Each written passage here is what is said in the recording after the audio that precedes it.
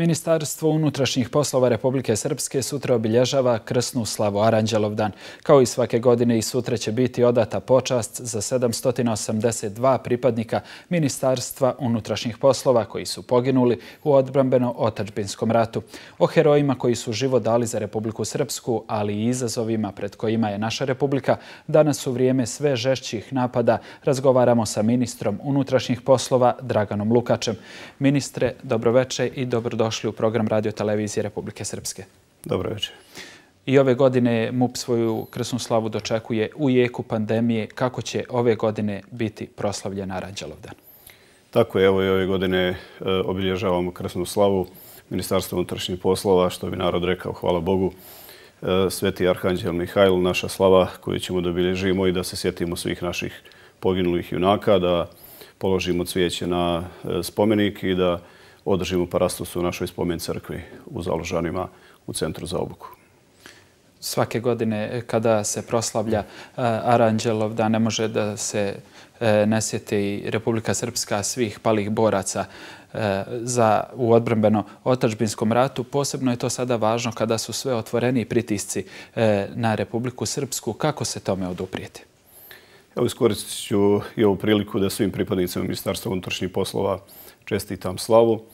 E, tačno je da Republika Srpska je onako ovoliko godina i kroz mnoge godine unazad je doživljavala razne pritiske. Očito da postoje one strukture i u Bosni i Hercegovini, ali i van Bosne i Hercegovine, kojima se baš ne sviđa mnogo e, da postoji Republika Srpska, iako je ona Dejtonskim e, sporazumom ustanovljena i već dugi niz godina uspješno postoji. Imali smo razne pritiske kroz sve ove godine koje su iza nas. E, mnogi su pokušavali na neki način da jednostavno Republika Srpska nestane ili da se njena ovlaštenja i mogućnosti postojanja umanje na razne načine. Međutim, e, nakon ovoliko godina možemo da konstatujemo evo, da ćemo sljedeće godine obilježiti 30 godina e, Republike Srpske, što znači da na ovim prostorima, kad se sjetimo kroz istoriju, da čak ni neka carstva nisu uspjela da opstanu 30 godina, da je Republika Srpska to ipak uspjela i mislim da je vrijeme da svi eh, shvate i u Bosni i Hercegovine, ali i van Bosne i Hercegovine, da je Republika Srpska jedna činjenica koje srpski narod eh, želio novim prostorima i želi i dalje i da nećemo odustati od postojanja Republike Srpske. Na dan slave Ministarstva unutrašnjih poslova Republike Srpske je i godišnjica potpisivanja Dejtonskog e, mirovnog e, sporazuma, za čije slovo se zalaže još samo Republika Srpska. Znamo da su tada izvorne nadležnosti predviđale neka široka oblašćenja za Republiku Srpsku.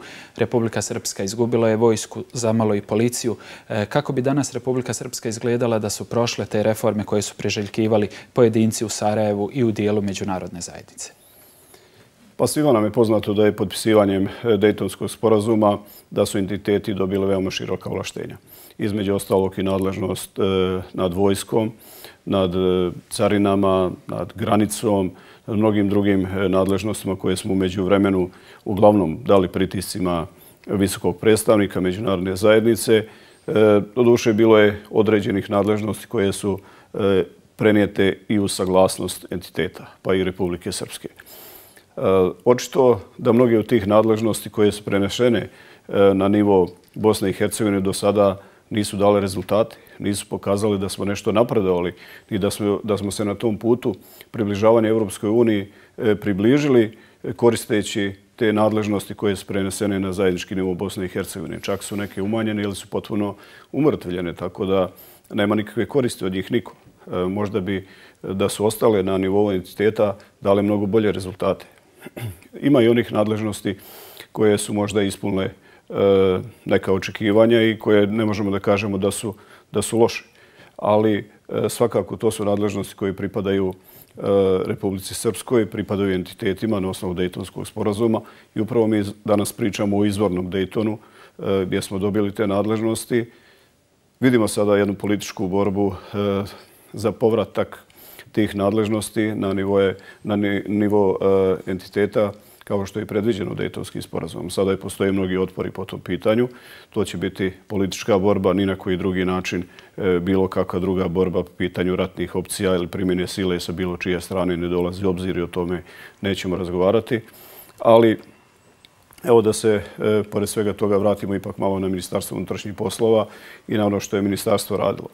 E, mislim da su svi ljudi u Republici Srpskoj u potpunosti uvjereni da policija pripada Republici Srpskoj i da to e, je jednostavno ne samo nadležnost, već mnogo šire, e, jer je mnogo šire e, pitanje funkcionisanja Ministarstva unutrašnjih poslova kad pričamo o bezbjednosti bezbjednosti naših građana, bezbjednosti njihove imovine, ali i bezbjednosti Republike Srpske. Da smo ostali bez Ministarstva unutrašnjih poslova, mislim da bi do danas Eh, izgubili još mnogo pored toga. Mnogo eh, više ovlaštenja, eh, mnogo više nadležnosti i pitanje kako bi danas izgledala Republika Srpska. Međutim, u tom trenutku se našao dovoljan broj savjesnih političara, dovoljno hrabrih da se suprostave tim pritiscima i da kažu da dovoljno je, ali ne može. Ne može dalje. Posle vojske, posle svih drugih nadležnosti, ne damo da se policija prenese na neki zajednički nivo i da nemamo svoju policiju koja će se brinuti o bezbjednosti svih naših građana. Danas Ministarstvo unutrašnjih poslova e, u potpunosti funkcioniše. E, Ministarstvo unutrašnjih poslova je najveća e, policijska struktura u Bosni i Hercegovini, jer znate da federacija i kantoni su podeljeni, imaju sasvim drugačiji način funkcionisanja nego što je to Republika Srpska. I na taj način mi kontrolišemo polovinu teritorije Bosne i Hercegovine. E, rekao bih veoma uspješno. Zadnjih godina mnogo je urađeno po pitanju opremanja, obučavanja, školovanja Ministarstva unutrašnjih poslova. Evo sam u ovom e, mandatu u kom se ja nalazim sa generacijom koju sada e, školuje upravo od 1. novembra je krenula nova generacija na Policijsku akademiju od 320 pripadnika. Radimo selekciju za novu klasu i već ćemo u sljedećoj godini imati dvije generacije, što nikada do sada nismo imali, i 500 kadeta koje školujemo. I u ovom mandatu, e, drugi mandat koji ja sada e, upravo e, radim, skoro 2000 mladih policajaca je odškolovano na Policijskoj akademiji Republike Srpske i oni će biti, a mnogi veći jesu, u aktivnom sastavu Ministarstva unutrašnjih poslova. To je jedna nova snaga koja je potrebna našoj policiji, koja je potrebna našim građanima. Na taj način se brinemo o bezbjednosti svih građana i siguran sam da građani prepoznaju tu jednu novu mladost, jednu novu snagu na našim ulicama i sigurno eh, oni već daju eh, veoma dobre rezultate. E, pričat ćemo još o opremljenosti MUPA, da se vratimo na ove e, političke izazove. U posljednjih dana upućeno je mnogo prijetnji Republici Srpskoj i njenom rukovodstvu. Znamo da medijske sadržaje u federaciji pune izjave o ratu i sukobima. Kome je to potrebno kada znamo da ni jedna takva riječ nije došla iz Republike Srpske? Upravo tako. Niko iz Republike Srpske, ni jedan političar, nijekom e, kontekstu nije pomenuo rat, da smo spremni da bilo kakve ratne opcije da vodimo E, neke, neku ratnu ekspanziju, da nam je u cilju da zauzimamo neku novu teritoriju ili da e, širimo svoj utjecaj na takav način. Mi jednostavno nećemo više da razmišljamo o bilo kakvim ratnim opcijama. Ovom narodu, svim narodima u Bosni i Hercegovini je potreban mir. E, svim našim generacijama koje dolaze iza nas je potreban mir. Djeca jednostavno hoće da se školuju, da napreduju, da imaju dobar posao, da žive dobro, a ne da E, sutra moraju da razmišljaju da će uzeti pušku u ruke i pucati jedni na druge, kao što je naša generacija, nažalost, morala. Jedna generacija političara u to vrijeme nas je odvela u rat. E, da li su bili svjesni šta rade ili ne, ne znam e, da li su to uradili namjerno ili sticajem okolnosti, ali svakako im to niko ne može oprostiti. Ali imamo na svim stranama hiljade mrtvih, mnogo invalida, mnogo još uvijek nestalih, mnogo onih koji ne mogu da zaboravaju sve traume rata koji su odrasli u tom ratnom periodu. Nešto novo, e, nešto tako nikad više nije potrebno Bosni i Hercegovini. Mi moramo da imamo mir na ovom prostoru, moramo da napredujemo i sigurno iz tog razloga nijedan političar iz Republike Srpske neće pozvati narod da ide u neki novi rat. Mi ne, ne želimo niti hoćemo bilo kakve e, naše politike da provodimo bilo kojom vrstom sile. Znači, ovdje se radi o političkim opcijama i jedini način da provodimo naše politike će biti upravo na takav miran način u skladu sa zakonom, u skladu sa ustavom. Nedavno ste izjavili da je srpski član predsjedništva BiH Milorad Dodik jedna od najugroženijih ličnosti u BiH. E, zašto ste to rekli? Da li imate neke informacije koje bi možda mogli e, podijeliti sa javnosti ako znamo da, da se radi vjerovatno o povjerljivim informacijama? Pa tako, ima informacije koje su povjerljive, koje pratimo i provjeravamo ali ima i onih informacija sa kojima je javnost već upoznata. E, već znate da je u više navrata bilo prijetnji direktnih e, uglavnom e, putem mreža, putem nekih pisama i tako dalje, prema srpskom članu predsjedništva gospodinu Dodiku, iz razloga vjerojatno što ne mogu ili ne slažu se sa njegovim politikama i sa onim što on govori. On govori svoje mišljenje o politici u Bosni i Hercegovini, ima namjeru da štiti Republiku Srpsku, srpski narod. Nekima se to ne sviđa, idu u neke radikalne opcije, prijetnje i sličnih e, stvari, ali e, pratimo sve te e, situacije. Mnogo tih prijetnji dolazi izvana od nekih građana Bosne i Hercegovine koji se nalaze u nekim stranim državama, tada kontaktiramo upravo i policije tih država, obavještavamo ih o tome, provode se, provode se ovaj, ti procesi da utvrdimo o kome se radi i da se E, jednostavno sankcionišu ti ljudi, jer apsolutno je neprihvatljivo da bilo kom političara zbog njegovog političkog mišljenja i bilo kakvog stava e, koji iznosi javno e, neko može da prijeti njemu ili njegovoj porodici. Tako da to nije prihvatljivo i policija Republike Srpske će zaštititi bilo kog političara ili bilo kog građanja kome su upućene takve prijetnje. E, vi ste govorili o premanju pripadnika Ministarstva unutrašnjih poslova. Da li je Policija Republike Srpske dovoljno opremljena i obučena da odgovori na sve bezbjednostne izazove današnjice? Zadnjih godina e, vlada Republike Srpske je mnogo radila na opremanju Ministarstva unutrašnjih poslova. E, digli smo školovanje na jedan mnogo veći stepen, o čemu sam već govorio. E, također, opremanje i obučavanje svih e, jedinica naše policije, počeo od narošto specijalne antiterorističke jedinice koja je danas e, veoma dobro opremljena, obučena, u kontinuitetu sprovodimo obuku. To imamo i pomoć e, od strane američke ambasade gdje se jedan e, softly team nalazi već godinama zajedno u radu sa našim specijalnom antiterorističkom jedinicom i godišnje tri do četiri obuke zajedno sa njima provodimo i to je sigurno od velikog značaja. Mogu da kažem da su danas e, naša specijalna anteriška jedinica da je jednom na visokom nivou obučenosti, ali također i opremljenosti. Već u sastavu e, naše naših specijalne anteriške jedinice imamo i helikoptersku jedinicu, imamo dva helikoptera, tako da su veoma mobilni bilo gdje da stignu širom teritorije Republike Srpske u slučaju potrebe. Treći helikopter će biti isporučen u januaru i na taj način ćemo zaokružiti jedan proces E, formiranje helikopterske jedinice. Također u sastav specijalne teroričke jedinice je uključeno deset e, oklopnih e, transportnih vozila e, Despot koji su više namjenski funkcionalni savremena vozila, veoma dobra i funkcionala za potrebe koje jednostavno specijalne anteričke jedinice može da se nađe u bilo kojoj akciji. Što se tiče također žandarmerije koje smo formirali i koja je ima svoje jedinice e, širom Republike Srpske koje veoma dobro funkcioniše. Radimo na njihovom e, opremanju, ali također i svakodnevnoj obuci. U svakom trenutku jedna ekipa žandarmerije se nalazi u našem centru za obuku ovdje u Zalužanima u Banja Luci, gdje provodi obuku u nekom periodu od tri mjeseca, što smatram da u ovom trenutku da je sasvim dovoljno. A nakon toga odmah i mijenja druga ekipa i već smo do sada E, E, skoro polovinu žandarmerije na taj način e, pravili jednu kvalitetnu obuku. Također radimo na našim posebnim snagama policije koje su iz redovnog sastava policije, ali se mnogo e, kurseva provodi na našoj policijskoj akademiji u radu sa redovnom policijom. To su od kriminalističkih kurseva saobraćenih uviđaja i svih ostalih stvari. Tako da mnogo ulažemo u opremanje i obučavanje i nastavit ćemo to i dalje da radimo. Imamo još mnogo projekata i mnogo ideja koje moramo da provedemo, ali svakako za to potrebno i vrijeme i novac. Ali mogu da e, garantujem da Policija Republike Srpske može da se suprostavi bilo kom izazovu po pitanju da li javnog reda i mira, da li e, zaštite naših građana, njihove imovine, bilo koji bezbjednostni e, izazov koji bude pred Policijom Republike Srpske sigurno će imati adekvatan odgovor. E, opremljenost i odlučnost pripadnika policije rezultovala je i akcijom Transporter.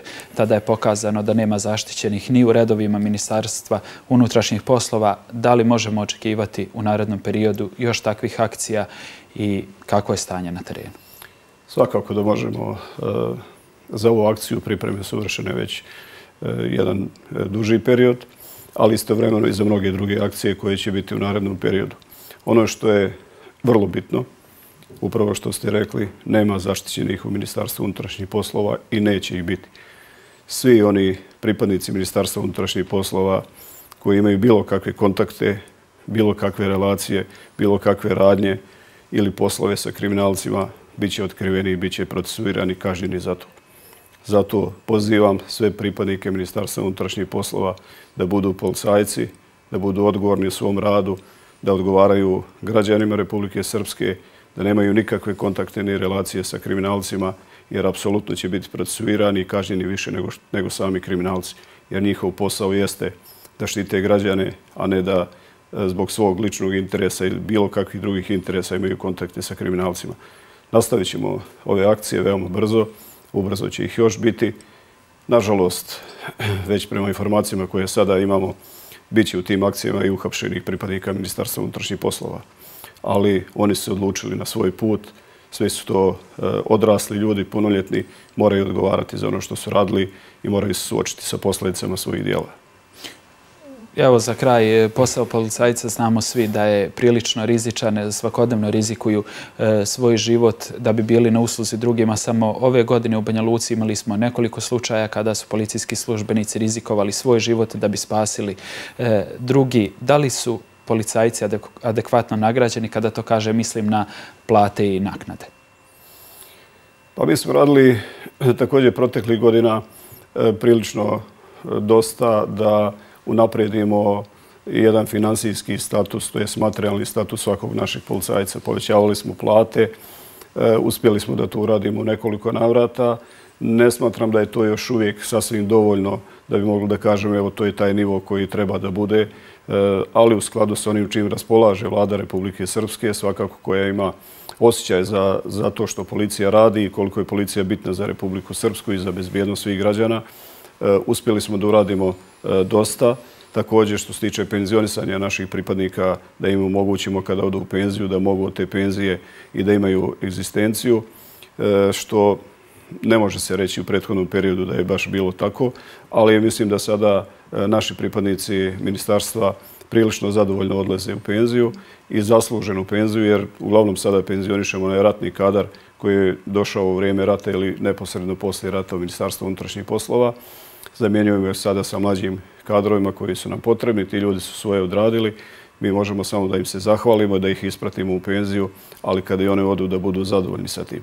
E, u narodnom periodu svakako ćemo raditi na tome da poboljšamo još e, status e, svih pripadnika Ministarstva unutrašnjih poslova i vidjet ćemo na koji način i kojim modalitetima ćemo to uspjeti da uradimo, ali svakako ćemo zajedno u saradnji normalno sa vladom Republike Srpske da radimo po tom pitanju. Imamo mnogo primjera e, tokom svake godine da naši pripadnici Ministarstva unutrašnjih poslova rizikuju svoje živote da bi pomogli našim građanima, da bi spasili nečiji život. Pa najmanje desetak takvih slučajeva bude e, svake godine gdje naši e, policajci skaču u rijeke, u jezera, e, vade ljude koji su na bilo koji način upali ili dospjeli na takav način da, da su ugrozili svoj život a i na drugim mjestima iz požara, iz razno raznih e, opasnosti rizikuju svoje živote. Imali smo slučaj bombe. Tako je, ili evo, u slučaju gdje ljudi e, dođe i do pucnjave i do korištenja eksplozija i do bombi i sličnih stvari. E, policajci veoma hrabro, onako kako su obučeni, kako su učeni, rizikuju svoj život da spasi tuđi život. Mi takve ljude ne možemo nikad adekvatno da nagradimo, pohvalimo ih. Jednostavno, da li je to dovoljno njima, ali su uglavnom skromni ljudi i zadovoljni su sa tim da znaju da se neko sjetio ipak da e, za taj spašen život, što je najveća vrijednost svima nama, ovaj, bar pohvalu dobije od e, Ministarstva unutrašnjih poslova. Nije baš da se ostali sjećaju toga, ali evo kroz medije mislim da vi ipak e, svi novinari, svi mediji to veoma rado prenesu i E, da te ljude, da te ljude afirmišemo i na takav način jer oni to stvarno zaslužuju. Ministre, hvala vam na izdvojenom vremenu za radio televizije Republike Srpske. Hvala vam. Poštovani gledalci, gost Dnevnika Plus bio je ministar unutrašnjih poslova Dragan Lukač. Ostanite uz program radio televizije Republike Srpske i prijatan ostatak večeri.